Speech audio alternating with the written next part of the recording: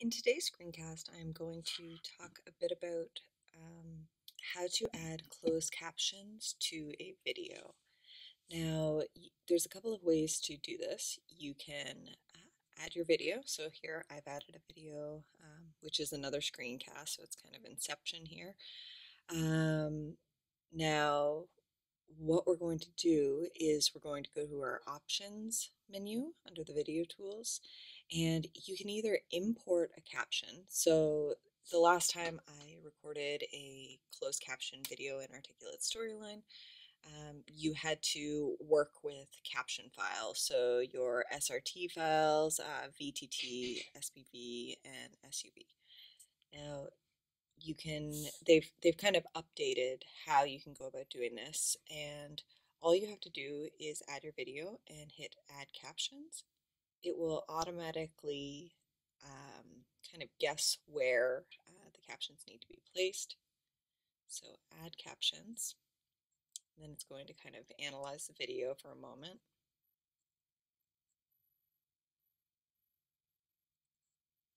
And as you can see with my waveform, the caption boxes are kind of added in the natural, uh, I guess, areas where I would be speaking. Now you can click one of these and delete it um, by using these um, functions up here. So you can delete it, you can split the caption. So say I need two uh, captions to appear um, with this one, I can select it and then hit split. It will split it 50-50. Um, and then you can also export your captions to another file or delete all of the captions altogether. Now, when you're adding your captions, what you're going to do is select the caption you want to add. It will automatically play the audio. So forgive me, you're going to hear my voice for a moment and then you'll type in what you want that caption to be. So based on what you've heard, you type in the caption.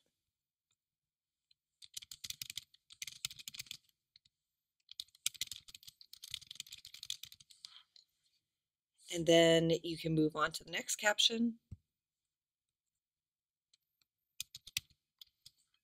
Now this is one where I would prefer the caption to be longer. So I'm going to delete this one here. And I'm just going to grab this one and drag it, and then I will listen to it again.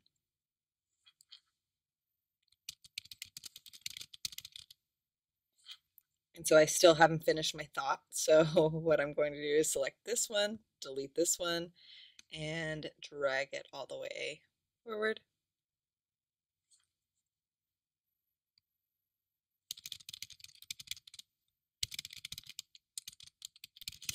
So you can see that it's pretty easy. So what we'll do is I've just added the two captions there. So we're just going to save them and then we're going to preview it.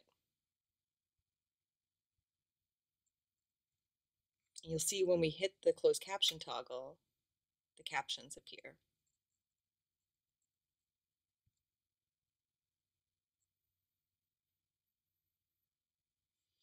So it's pretty easy to use. Uh, all you have to really do is kind of listen to your audio and type it in.